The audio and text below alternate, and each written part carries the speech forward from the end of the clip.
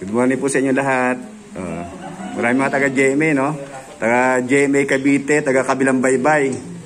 No? Marami. May patrol pa. Maraming sasakyan namin eh. O, dami na, mga kotse. Mga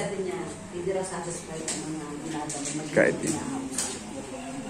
Hello, Cons. Hmm. Ay, sir. Good morning po.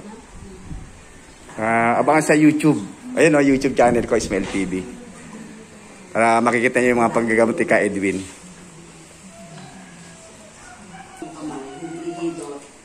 Bakit eh? gagaling.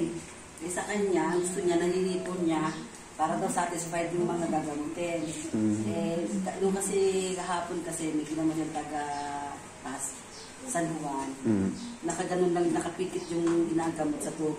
Nakaganon lang, ang iniikot lang yung kamay niya ganon. Biglang, buma, biglang nagmulat at nagaground daw yung paa niya. Eh, hindi naman lumalapat yung kamay. Oo. Parang si Madang, Ganun hindi din. na nakalapat yung kamay sa ano, pero...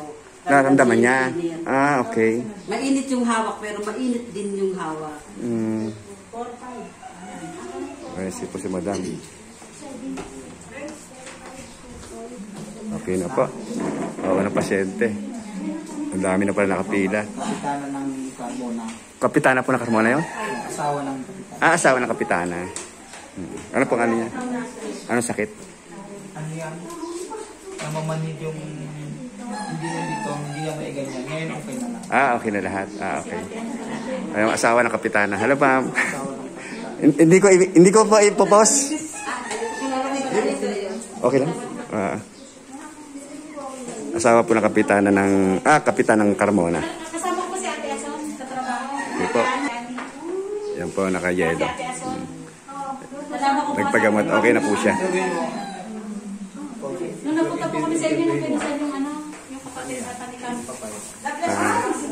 Ma'am, pwede kayo ma-interview? Pwede po. Ito po asawa ng kapitan ng Carmona. Ano po pinag-check up niyo, ma'am? Ah, may parang frozen shoulder. Ah, frozen shoulder. Oo. oo.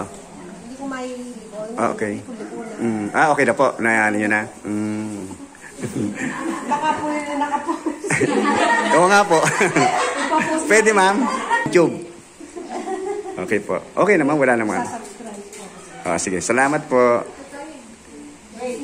Ah, sige, ma'am. Thank you po, Kapitana.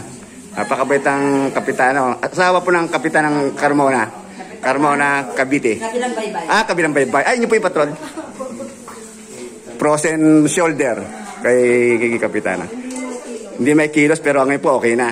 Mhm. Marami po tayong pasyente taga ano, Carmona. Kabilang baybay, iba-iba po. Okay po. Salamat po.